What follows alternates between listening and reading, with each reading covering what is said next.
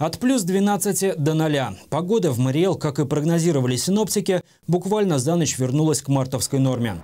Еще вчера среднесуточная температура на 10-12 градусов превышала норму. По значениям она соответствовала первой половине мая.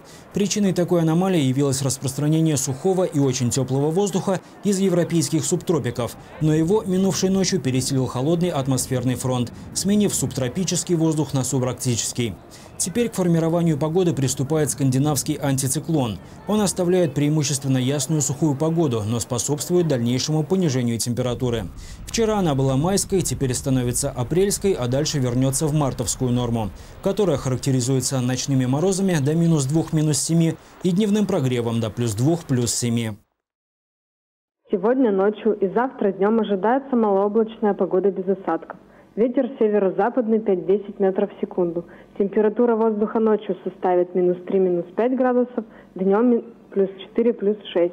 Пятницу, 28 марта, пройдут небольшие осадки в виде дождя и мокрого снега. Усилится северо-западный ветер до 8-13 метров в секунду. Температура воздуха ночью составит минус 2, минус 4 градуса и плюс 1, плюс 3 градуса днем. В выходные также придут небольшие осадки в виде дождя и мокрого снега, преимущественно ночью. Температура воздуха ночью понизится до минус 5, минус 7 градусов, днем около 0 градусов.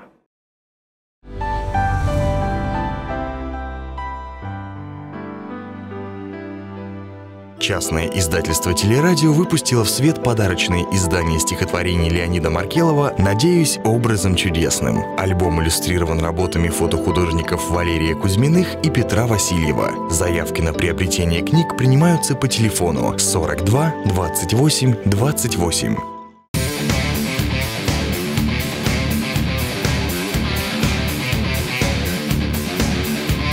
Информационная служба ТВ и радио на Патриаршей.